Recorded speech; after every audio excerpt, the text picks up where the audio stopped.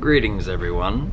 My name is Brent, although most people know me online as Dr. Wolf. Not a real doctor, I actually work as an accountant. And before the age of 35, my wife and I paid off our house and became completely debt free.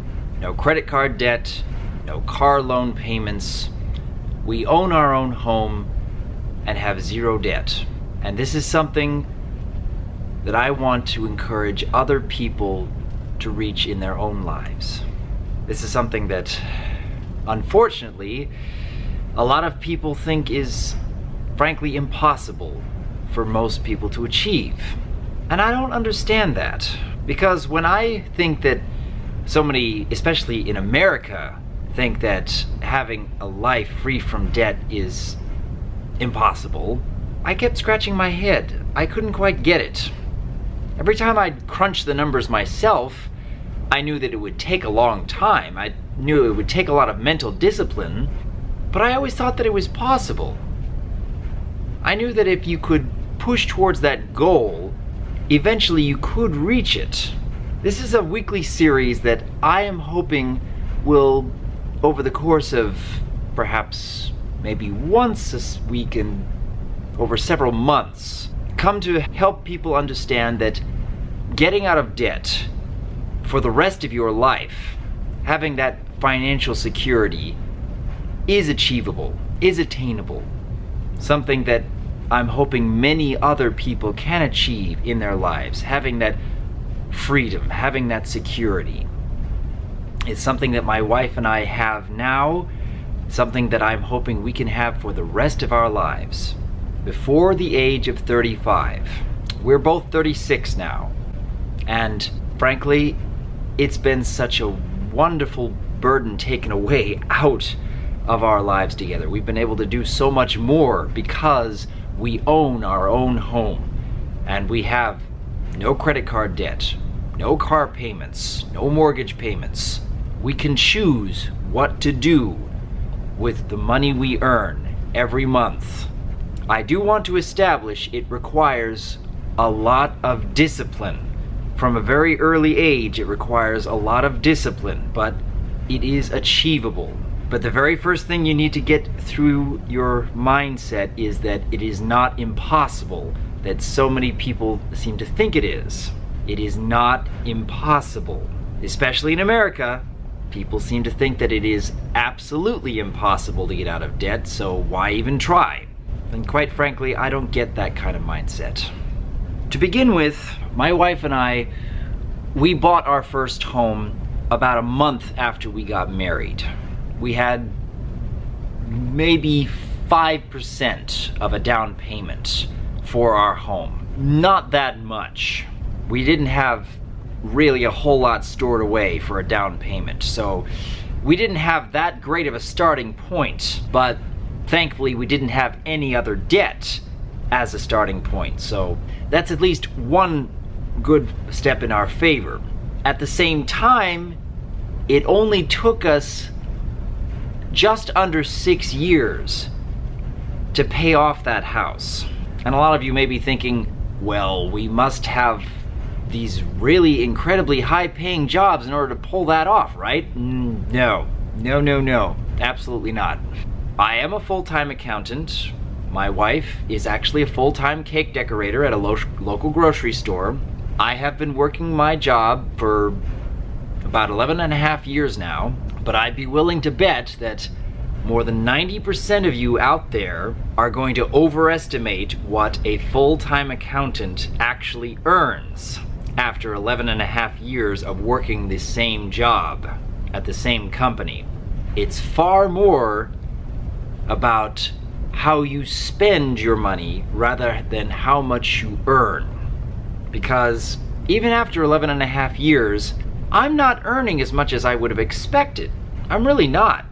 But I've grown used to it. I've grown comfortable to it. I've grown content with it.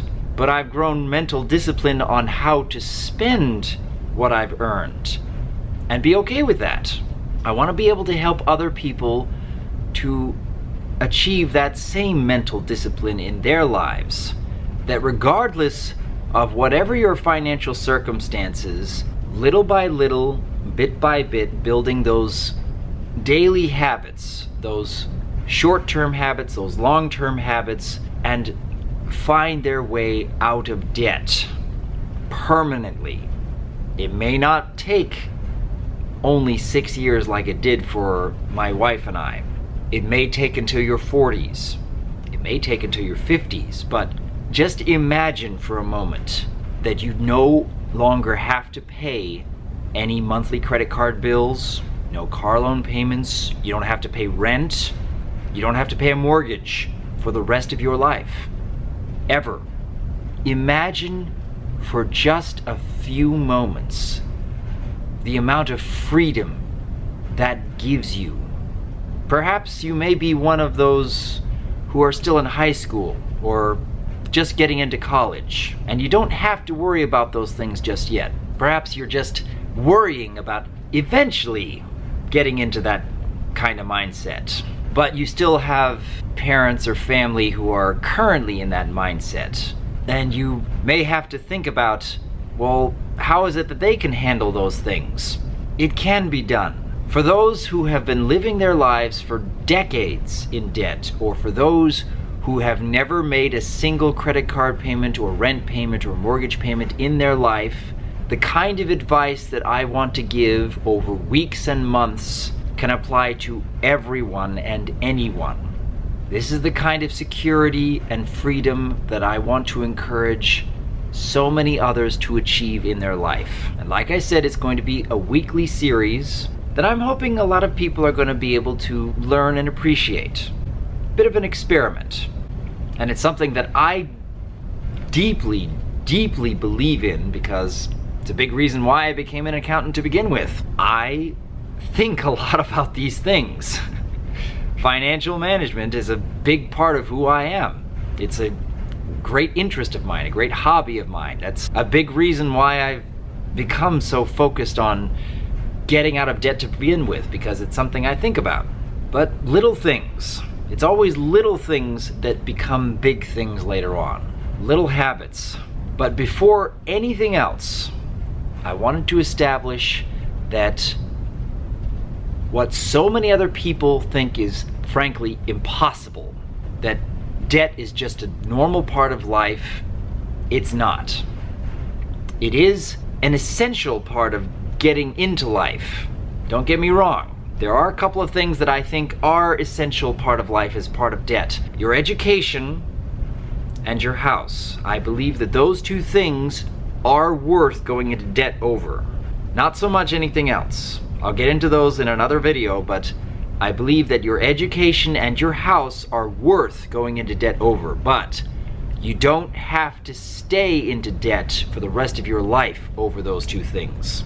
I'll be discussing those in much greater detail in other videos, but to begin with, before the age of 35, we owned our own home with zero debt. And we want other people to achieve that same level of independence in their lives too. Regardless of how long it takes, it can be done. I would like to hear what you think of that statement. And I hope that you'll be back to hear about more next time.